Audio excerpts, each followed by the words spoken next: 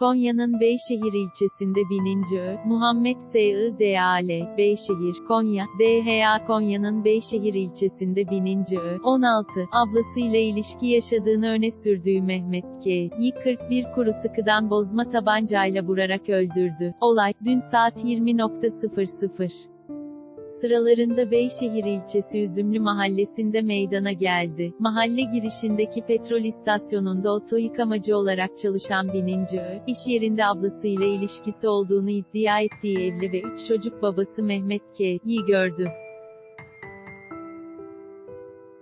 Otomobiline yakıt alan inşaat işçisi Mehmet K. Nokta'nın yanına giden bininci belinden çıkardığı kuru sıkıdan bozma tabancayla üç el ateş etti. Vücuduna isabet eden kurşunlarla yere yılan Mehmet K. olay yerinde hayatını kaybetti. İstasyon çalışanlarının ihbarı üzerine olay yerine jandarma ekipleri sevk edildi. Mehmet K.'nin cesedinin başında beklerken gözaltına alınan bininci Ö.'nün jandarma ekiplerine, sizi bekledim, namusumu temizledim, dediği belirtildi. Mehmet K.'nin cenazesi